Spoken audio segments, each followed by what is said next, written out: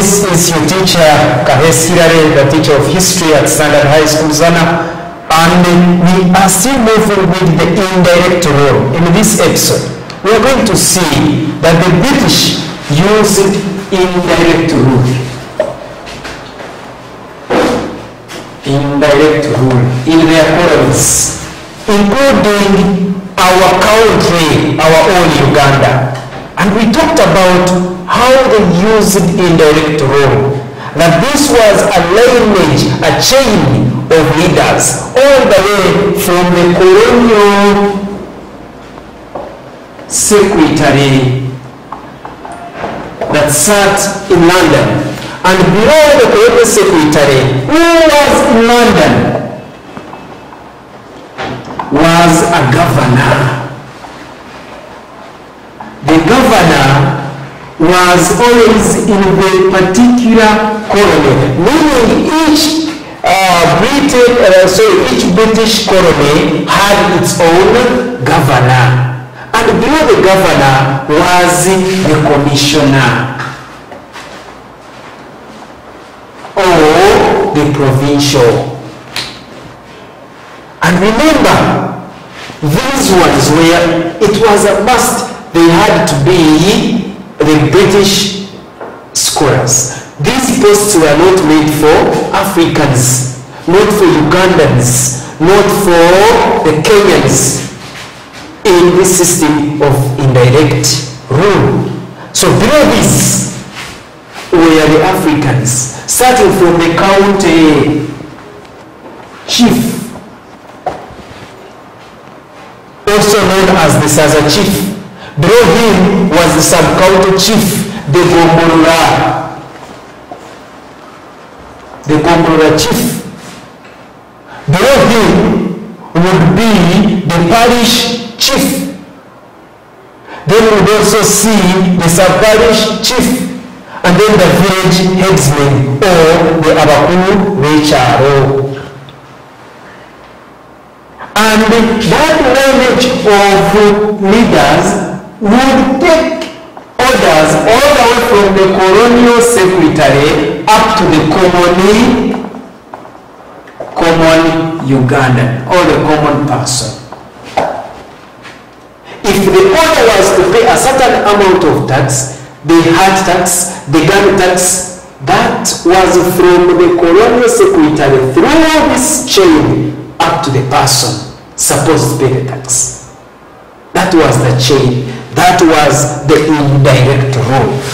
Today, we want to see why the British decided to apply indirect rule in their colonies, to be particular in Uganda.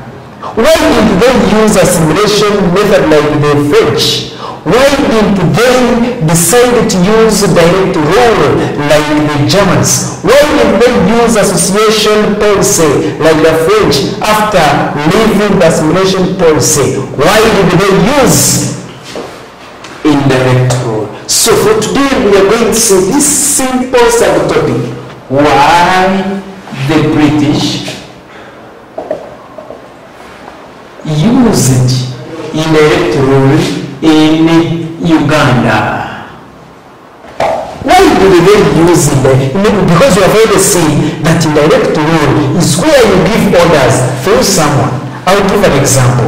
I come to your class, I tell the class monitor, tell all members of senior four to correct their books for marking. The class monitor tells the assistant class monitor, and the assistant class monitor tells the class counselor.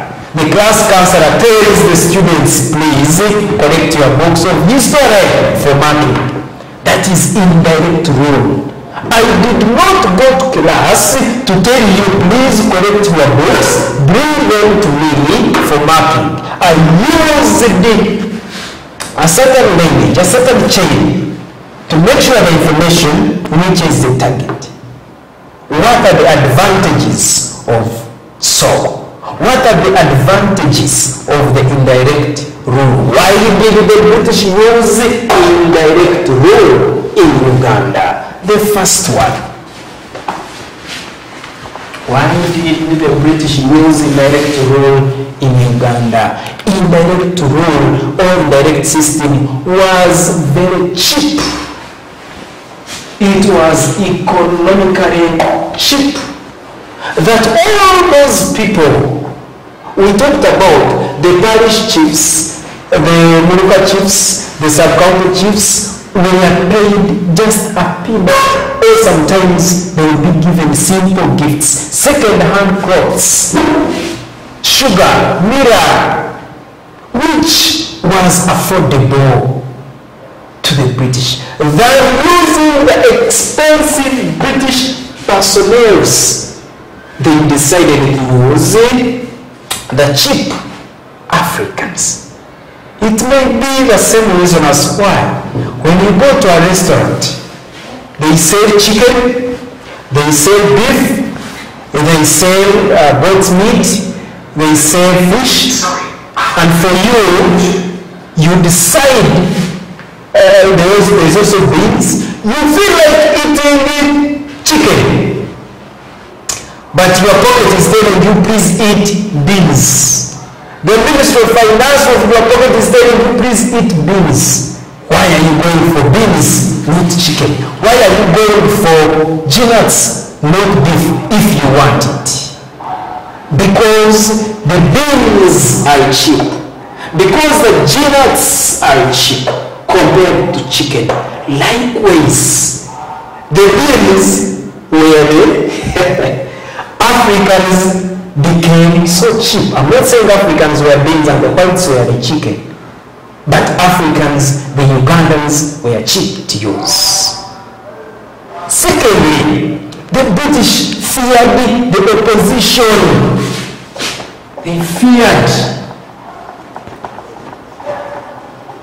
They feared opposition from the Ugandans. Africans, the Ugandans, the Kenyans would feel free, would feel very okay receiving orders from the chairman LC1 than receiving orders from someone strange, from someone that is from another country. They would easily oppose than receiving the orders from this person they are used to. I will give an example. Your class teacher, if he comes class and tells you, please, after classes, everybody must come to the office to explain this and this and this issue. You will all go there. But let someone new, maybe from another class, comes and tells you, please, after classes, go to the class teacher's office and do so. Most of you would not go there. Opposition. So the British also used that to avoid, to reduce on the rate of opposition. The African chiefs also were to act as the shock absorbers. The shock absorbers. This is when they use you to do something for someone. And in case there is a problem, someone will leave you. That's what we call being treacherous, turning around.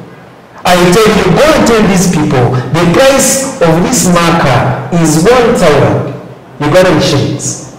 Then you go and tell those people, it is 1,000. That's what I told you. And when the people say, no, don't want it, is expensive, it's supposed to be 500 Ugandan shillings, then you come back and tell me, yes, eh, why did you tell them it's 1,000? I'm turning against you. So the white men did not want the blame. The Africans, the Ugandans, the chiefs, the kings were there to be blamed in case anything did not go on well. The British also admired the Kiganda model of administration. Kiganda model of administration. The centralized system of the impressed the British and said this one should work elsewhere. That's why Semei Kakungulu was even sent to preach the Kiganda model of uh, administration even in other regions like in Busoga.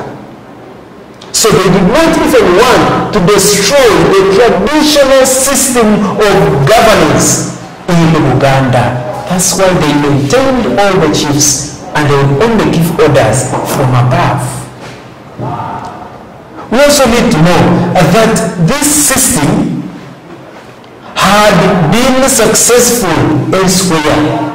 It was successful in Egypt in 1982. It was successful in Nigeria. It was successful in India. Hence, it will also work in Uganda. It was success successful elsewhere. So they thought it would also be successfully used in Uganda. Hence, its use.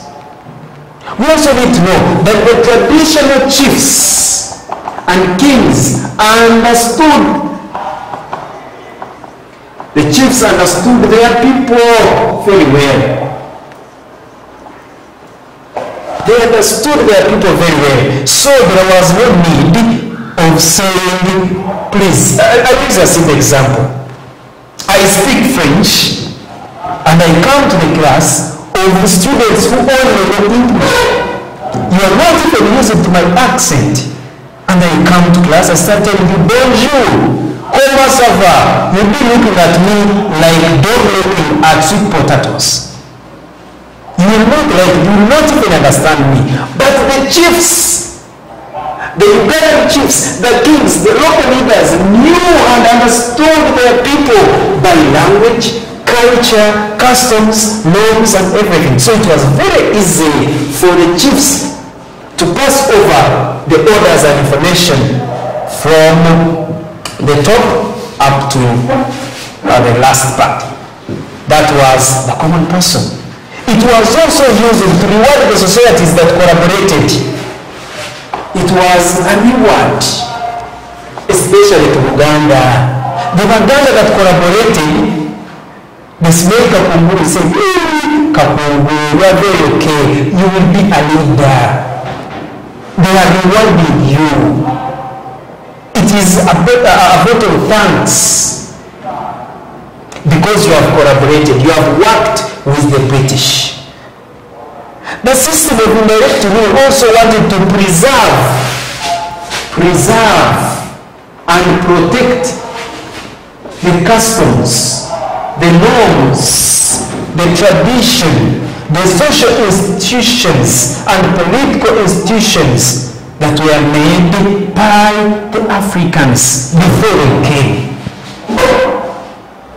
We cannot forget say that the British wanted to look unique. They wanted to be unique.